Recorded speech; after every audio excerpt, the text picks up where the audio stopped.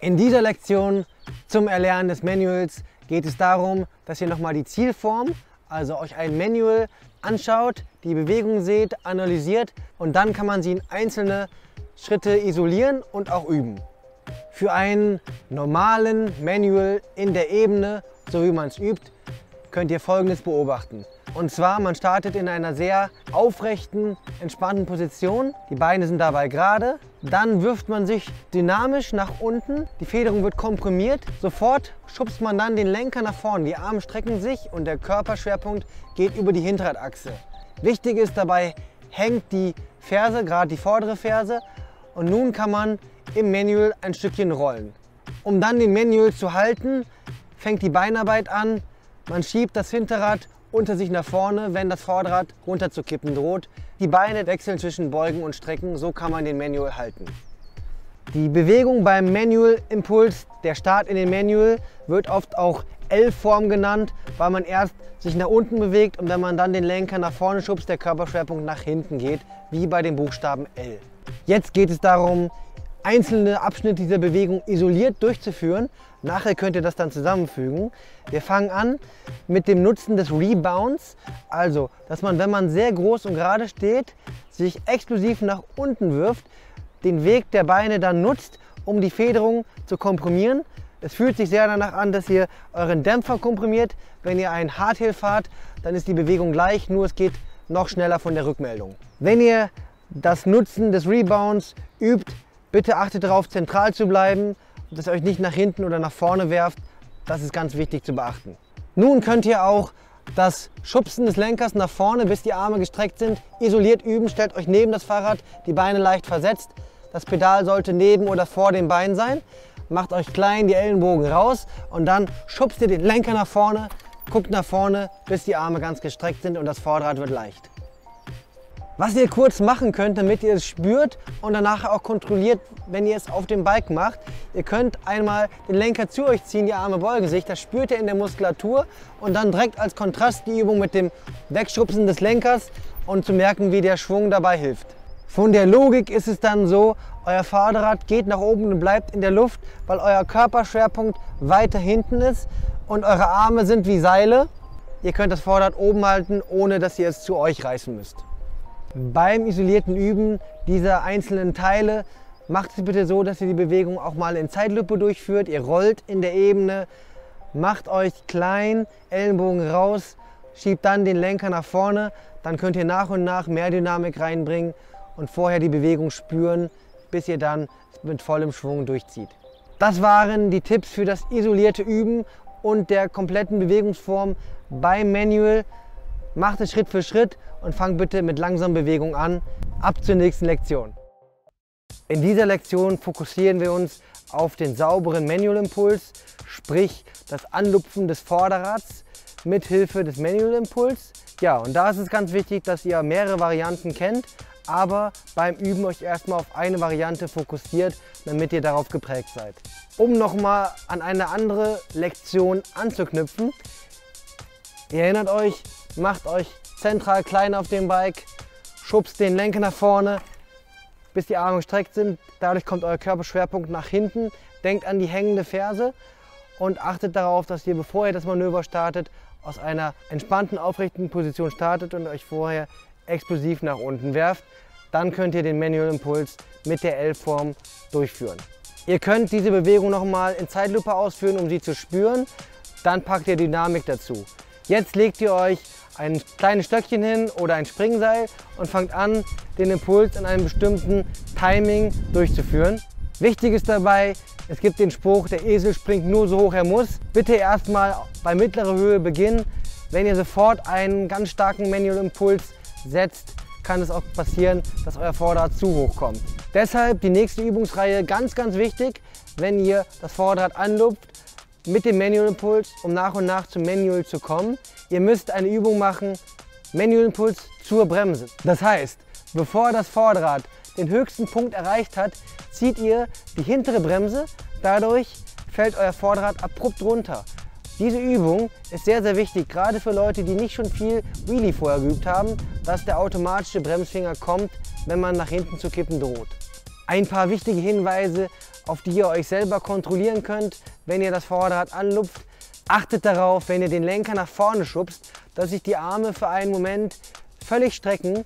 Viele versuchen, den Lenker dann doch zu sich zu ziehen, sodass sich Gesicht und Lenker nähern und das Vorderrad wieder runterfällt. Dafür könnt ihr laut ein subvokales Kommando geben, Arme strecken, strecken. Zum Beispiel, das ist auf jeden Fall sehr hilfreich.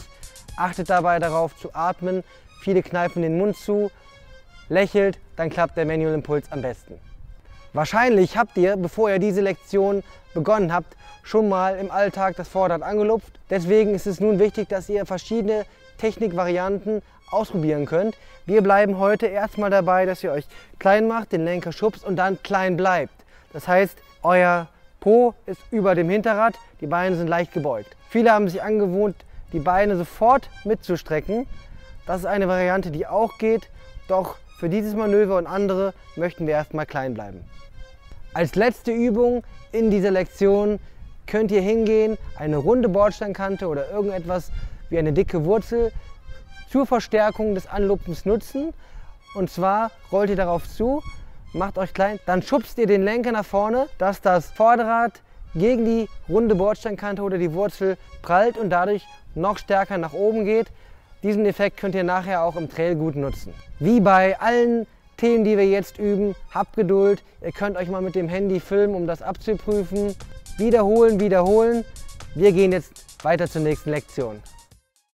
In dieser Manual-Lektion geht es darum, den Sweet Point, so wird häufig genannt, den Balancebereich zu finden, wo das Vorderrad nicht wieder runterfällt oder man auch nicht nach hinten kippt. Neben der Fahrtechnik spielt auch das Mentale eine wichtige Rolle beim Finden des Sweet Points. Ihr müsst euch da herantasten. Jetzt gehen wir ein bisschen in die Fahrtechnik, in die Übung. Zur Kopfsache kommt auch noch eine eigene Lektion. Viele fragen natürlich, braucht man eine Manual-Maschine, die man sich selber bauen kann, nach Anleitung im Internet oder auch kaufen kann für relativ viel Geld, um den Sweet Point zu finden. Ich würde sagen, macht es doch erstmal so, nehmt euch Kollegen, Kumpels, jemand, der euch festhält dann könnt ihr eure eigene Manual-Maschine in Anführungszeichen nutzen. Sprich, ihr steht auf dem Fahrrad zentral, jemand, eine, zwei Personen halten am Lenker oder am Reifen das Fahrrad fest. Dann macht ihr, setzt ihr den Impuls, macht euch klein, wirft euch nach hinten. Ihr habt jetzt keine Fahrdynamik. Dann kommt das Vorderrad hoch und die andere Person oder die eine Person hält euch fest. Nun könnt ihr prüfen, wo ist der Sweet Point. Achtet auf eine hängende Ferse und ein Lächeln. Auf jeden Fall auch eine gute Übung, um das einmal zu spüren.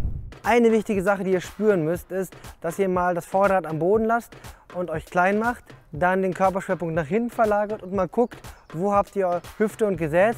Macht es mal so, dass es in der Nähe des Hinterradreifens ist, um mal zu spüren, wie könnte sich diese Endhaltung im Manual anfühlen. Wenn ihr nun anfangt mit Dynamik den Manual-Impuls zu setzen, um dann in einem Manual zu bleiben, bitte nochmal anknüpfend an die andere Lektion mit der Hinterradbremse ein paar Mal den Menüimpuls beenden, damit ihr sicher seid, dass der Finger auch kommt, wenn ihr euch erschreckt. Dann fangt ihr an, bewusst nach dem Impuls über dem Hinterrad zu bleiben. Bleibt klein, ihr könnt euch subvokal ein Kommando geben und testet es mal bei langsamer Geschwindigkeit, fühlt ihr euch sicher, steigert ihr die Geschwindigkeit. Nun gehört es dazu, dass ihr auch über den Punkt hinausschießt. Ihr wisst, euer hinterer Finger rettet euch. Ihr könnt nicht nach hinten abspringen, weil ihr euer Körpergewicht auf den Pedalen habt, ist die Gefahr viel zu groß, dass man auf dem Rücken landet. Also müsst ihr mit der hinteren Bremse den Manual Impuls und Manual beenden, wenn ihr sonst auf den Rücken kippt. Aber ihr könnt den Street-Bereich nicht finden, wenn ihr immer nur unter der Grenze bleibt. Das ist ein Try and Error. Ihr müsst üben, üben, üben und dann kann der Kopf sortieren, welche Versuche gut sind und ihr könnt da dranbleiben.